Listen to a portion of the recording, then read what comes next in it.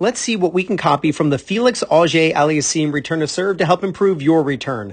Now, this video is courtesy of PTSO on YouTube. Make sure you subscribe to their awesome channel. I've put their link in the description below. So let's watch this whole point, but then we'll focus mainly on the return.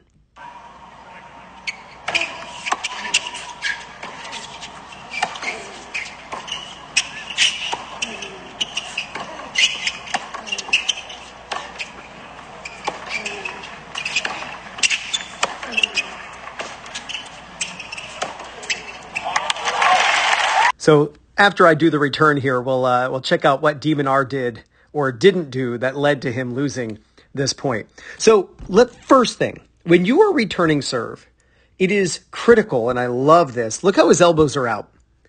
See the space I tell my students, you know, let your opponent smell your armpits. Get your elbows out away from your body. It's going to be in your best interest when it comes to turning for a forehand or backhand. So start with your elbows out and keep them out. A lot of players, they let them drop in when they split step. So try to keep your elbows out so that when you turn, there's space. It helps keep the swing small, helps get the racket face square against the back of the ball. The next idea is look at this pre-movement. Look how, as de Minaur serves, you've got this forward movement from Felix. This is critical. So if you want to stand, let's say here to return serve, start back here. That way you get to go forward to that point. That's exactly what Felix does. Now he's really far back because this is a first serve, but it doesn't matter how fast your opponent's serve is. You can always move forward into it. Just make sure that you stand far enough back so that forward movement is possible. You want your body weight, if at all possible, to be going forward because you don't want to be pushed around by the shot. Now let's talk about the split step. And I'm always showing you this. I think it's critical because probably for the first 10 years of my coaching, I taught the wrong thing. So I don't want you to, to be wrong like I was. So when your opponent is striking the ball, you should not be landing your split step. And you can see that with Felix. He's in the air as de Minaur is making contact. And the reason is because it takes time for your brain to recognize where the ball's even going. And in fact, it's a very specific time. It's around 0.2 seconds that it takes for your brain to process what it visually um, you know, the information it's visually taking in. So that's why you want to actually delay your split step so that you're landing around 0.2 seconds after your opponent hits the ball. And it's give or take based on the, you know, how fast your brain reacts and all that stuff, but it's basically 0.2. So we can put a timer down and we can just see how long it takes for Felix to hit the ground. So there you go, 0.2, 1. It's all the same. Now we'll see Felix turn for this ball. So he's, you know, the ball's coming. Watch this. The ball's coming and he hasn't moved yet. He hasn't moved yet. He hasn't moved yet. Why? Because his brain is not processed. Now his brain is processing and you'll notice it just so happens that it's happening as he's hitting the ground. That is not a coincidence. It doesn't matter if you're at the net, return of serve, serving and volleying during a rally. It does not matter. Singles, doubles. You want to be in the air as your opponent hits so that you're landing after and specifically around 0.2 seconds. Makes you so much faster in your movement left, right, out of the way, forward. Doesn't matter if you're playing Kyrgios and he does an underhand serve. You can quick run forward faster.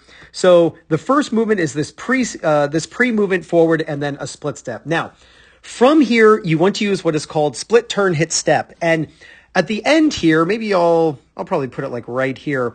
At the end of the video, of this video, I want you to check out a video that I'm going to put right here on the screen. And it is a return of serve video that I made on court where I go through the entire process of split turn hit step and how you can practice it uh, on court by yourself with somebody. Um, and so split turn hit step is simply you land your split step. Then you're going to turn and you really want to think of the turn as being your backswing. So don't take the racket as far back as you typically do, especially against a very strong serve. Think of the swing as being little truncated just because of the lack of time. You'll notice though that he's leaning and basically dragging the outside foot, right? So this foot, as he turns, is just dragging. He's not stepping and having this foot land by the time, or before I should say, he hits the ball. He's going to hit the ball, then he's going to step. So watch how he steps with his right foot, but he makes sure it's after contact. That's why it's split, turn, hit, step. This is not random. This is absolutely something you have got to do in order to make sure that you're not late. Because there are a lot of players I see recreationally who try to put this foot down and then they're late. Your foot will not get over in time if it's a really fast serve.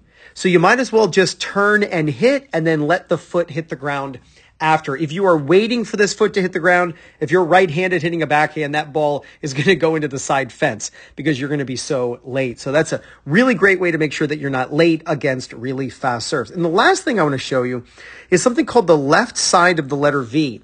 So Djokovic does this a lot on his regular backhand. So it's like a letter V right there, right? Let me actually use a different color. That's where it's like a little easier to see. There we go acting like it's my first video I've ever made here.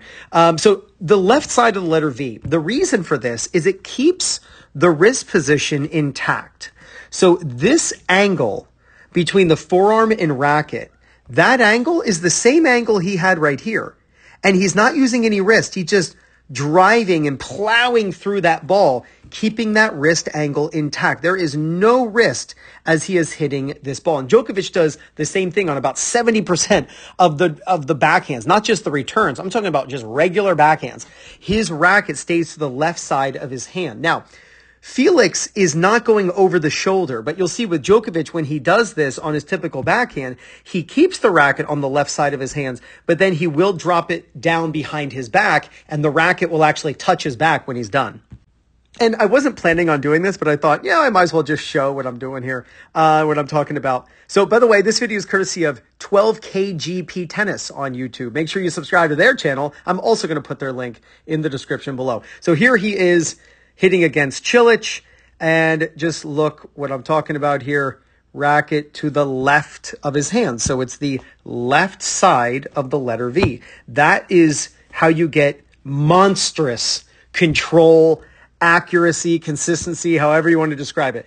Right there, that angle, the angle between his forearm and his racket. That angle is the same angle he had right here. So he's got that angle, then he goes to contact. Now we cannot see that angle from the back view, but we can see the angle in the follow through. And the racket stays to the left of his hand. Again, left side of the letter V. It's kind of like a Y with his forearm. And then watch, he goes to his back. Now we don't see that with Felix because Felix is just trying to drive through the ball, not looking to get a lot of topspin, um, and then he's quickly trying to get back into court. Here, Djokovic is just hitting a cross court ball and he actually really rips it cross court. Um, Cilic actually has to hit that ball with slice, but closing the racket face, spinning up and through contact, keeping the racket to the left side of your hand, obviously as a right hander, reverse that if you're a lefty, is something that you can do on almost all backhands. But this really going over the shoulder all the way to the back is very much, um, you know, for the re, no, I'm sorry, not for the return to serve, just more of a regular backhand. Though I will say that Taylor Fritz does this a lot. It's kind of like that Jimmy Connors, Tracy Austin, Chrissie Evert finish, where they finish just out like they're handing their racket to the opponent. So it's a really great way to get a ton of consistency. Another thing you'll notice is he hits the ball not to a corner, right? He's not giving um, uh, Alex like a ton of angle. He's just trying to hit the ball more to the center third. So you have to think of your return being more to like the center of the court rather than to the outside. Let's see where this ball lands uh, basically right on that line right there. The camera does move. Let me show you one thing that uh, Alex did in this point that got him in trouble because he actually hits a good shot to the corner here. Felix hits a deep backhand, but this right here is where Alex actually lost this point. Watch how Alex, his ball lands right there. In fact, doesn't land right in that circle. Look at that. I even drew it in the right spot. So the ball lands in that circle, super short. When you hit short, down the line, you are in trouble, especially to your opponent's forehand, because he starts moving this way, and that's when you see Felix go behind him, and that and nice and deep, and that gets Alex in a ton of trouble.